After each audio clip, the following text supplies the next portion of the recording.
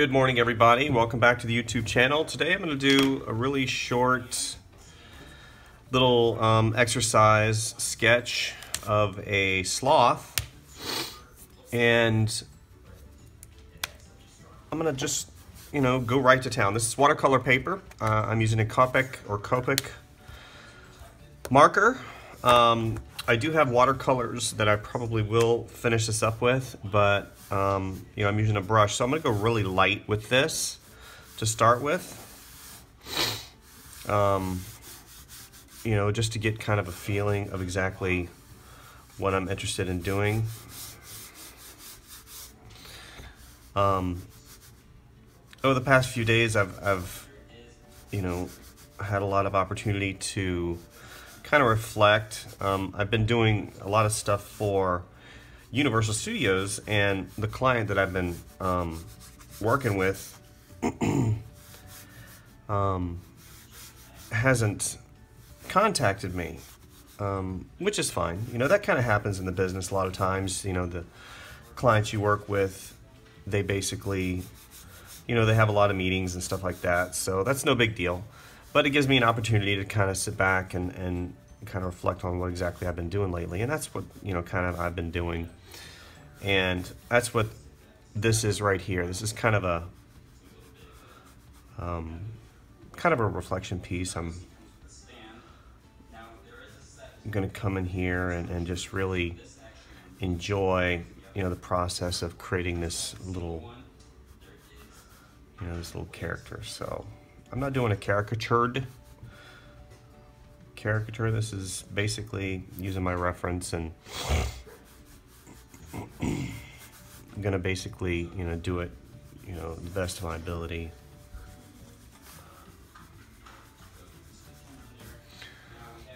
You know.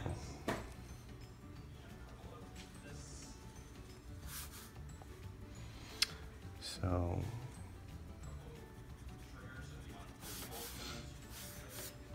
So basically what I've done is I've created a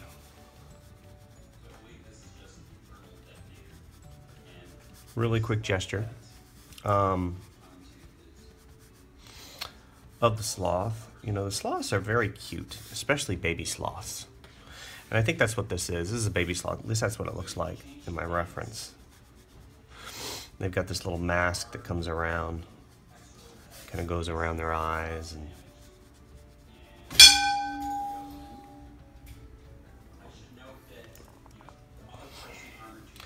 and that is, um, you know, with their mask, you kind of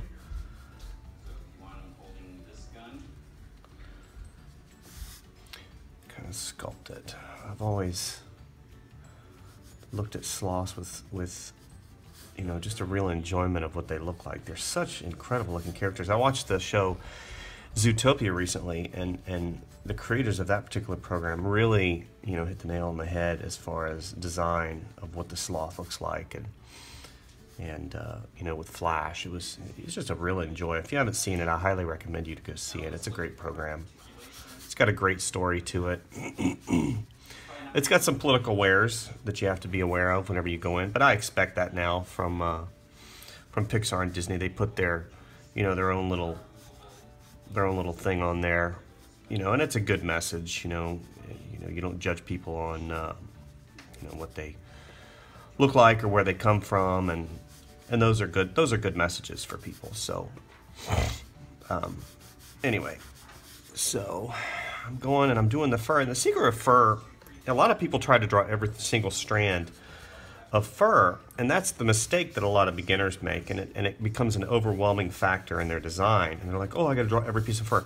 The funny thing is with fur is the less you do, a lot of times, the better it, it, it is. You know, and it's like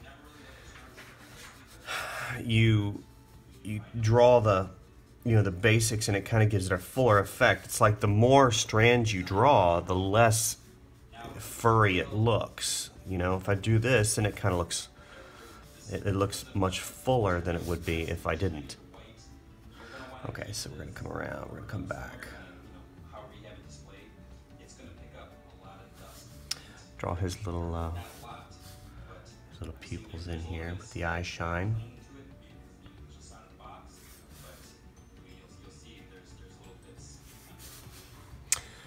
So, and I'm going to come back with a different tone of marker here in a second. Again, I don't want to get I don't want to get too detailed with this just yet because I'm gonna I'm just trying to work in the basics. You know, get that gesture and get that, use the reference. Don't be a slave to your reference, but also you definitely use your reference if it's there. You know, you want to be correct with the anatomy. You know,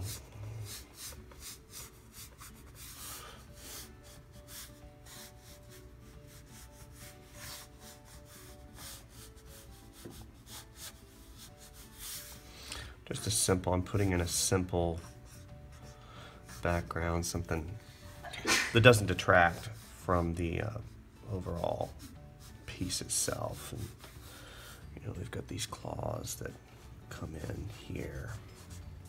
Because the sloths have really intense claws to be able to stay on the trees.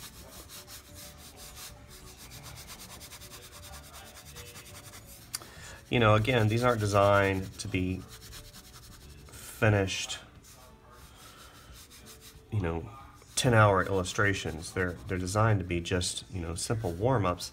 And I do 10 hour illustrations and I do all those things. I just can't show anybody, unfortunately, because of the nature of, of uh, the business that I work in. You know, you sign non compete, you sign all these things that you can't really share your artwork until basically it's over occasionally on Facebook, I'll, um, you know, Facebook and Instagram and stuff like that, I'll, I'll post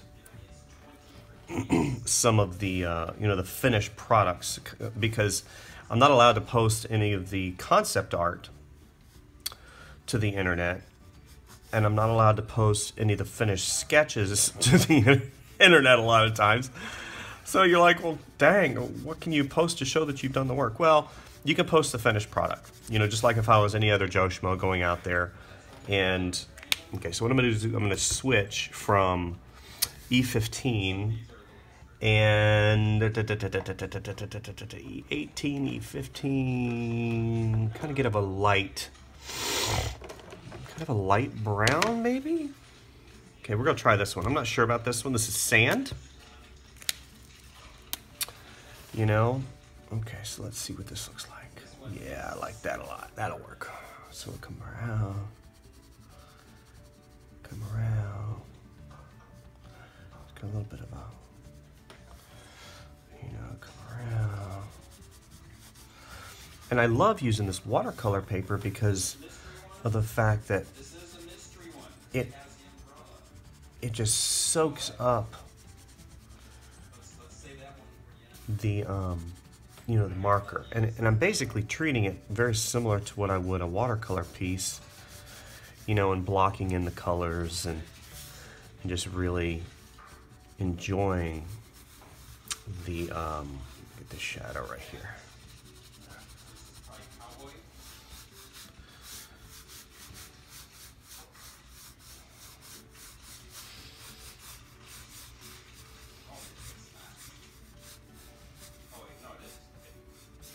And if you notice, a lot of times I'm not sitting here and I'm not noodling. You know, I'm not sitting here noodling with, you know, the the mundane details of the the gesture and the piece. I'm really going in loose, and there's there's definite value to that.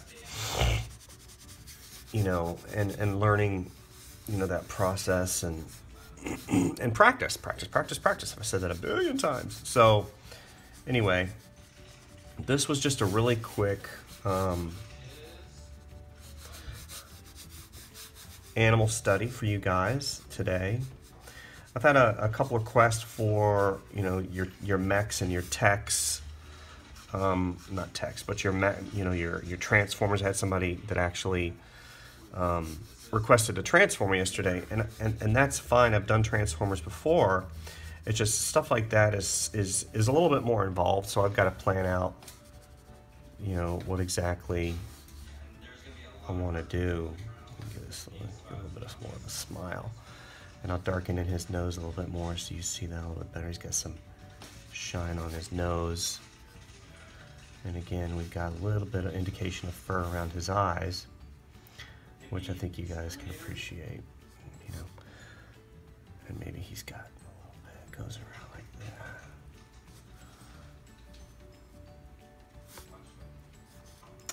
Yeah, and then his eye comes around here.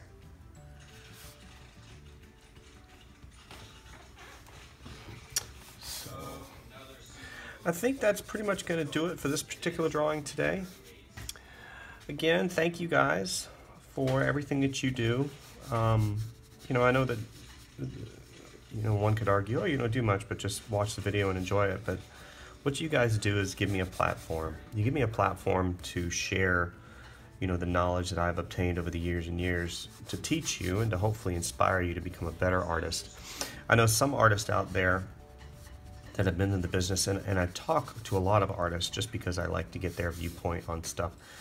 They, you know, they're they're they've been in the business for a while, and they feel so uninspired and, and kind of distraught in the fact that they you know either they don't have consistent work or you know the work that they have is the same pay that they've been receiving for you know five six seven eight years and, and they've lost that zeal for what they do. And i just want to say you know don't look towards your job for fulfillment.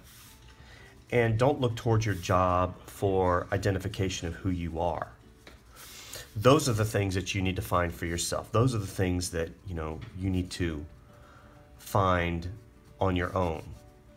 You know, for the longest time, I basically somebody would ask me, "So, how you doing?" "Oh, I'm doing good, busy." And it's all that's always the typical answer. You should identify and say, "Hey, why am I saying that I'm busy all the time?" You should say, you know, if somebody asks you how you are, I'm, I'm doing great, man. I'm, I'm, I'm really delving deep into the um, into the world of visual art. You know, I do stuff every single day, but that that's just my job. What I'm really interested in is is you know seeing how you know certain animals work. You know, what's the dynamic? You know, what's the story I can tell? I got this really cool story that I'm telling. You know, and I'm thinking about making a book, and, and, and you need to think, well, why am I making a book? Am I making a book to make money? No. You know, don't don't think money is the the end all purpose and I and that's that's what I think ultimately we should start looking at and, and, stop identifying yourself with your job. You know, if you work at Disney, great. If you work at Universal, great. But at the end of the day, who are you really? What are you trying to accomplish in this world as an artist, as a visual person, as somebody that is creating art every day? what are you trying to do? What's what's your deal? You know, that's that's what I always like to know. What's your deal? You know. Who are you as a visual artist, as a visual person, as somebody that's doing this every day? Um, and that's what I kind of have a question lately. What? Why am I doing this? Am I doing this for a paycheck? Am I doing it to, you know, make money? Because we all got to make, you know, money to survive. And it's just one of those, I guess, constant philosophical questions that that I ask myself. You know, why why I'm doing certain things. You know. So anyway, that is this. I'm not going to go on time lapse with us today, so you guys kind of get a, a feel of exactly how long one of these pieces takes.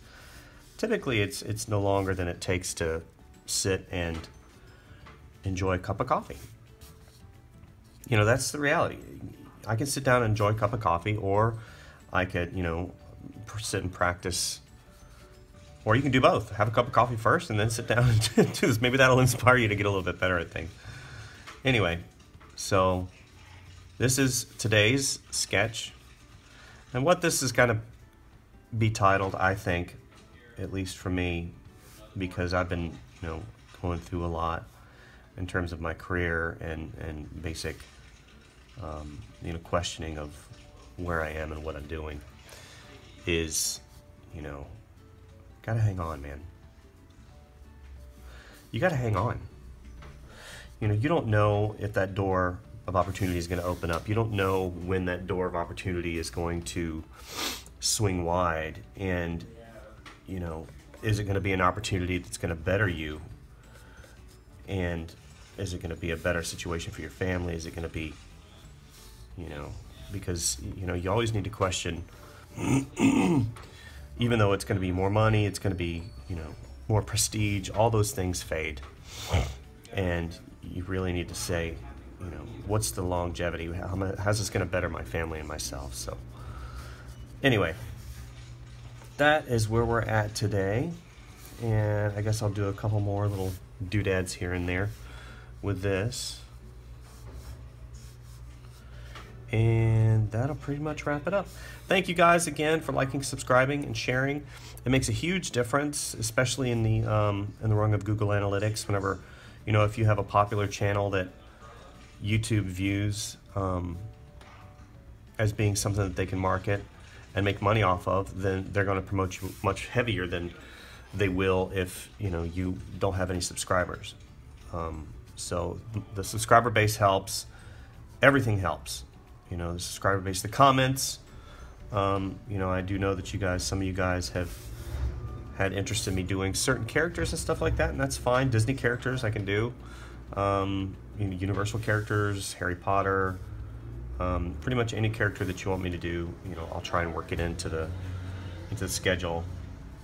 So anyway, again, thank you guys, and there is an opportunity for you to buy this particular sketch if you're interested. Um, I now have a big cartel um, site that you guys can that I offer these particular sketches uh, for sale um, at, a, at a limited cost, for, you know, with shipping. So, if you're interested in getting this particular sketch and it inspires you in some way, then I encourage you to go over and visit. And the link is in the description below. And we appreciate you, and we'll see you next time. Thanks.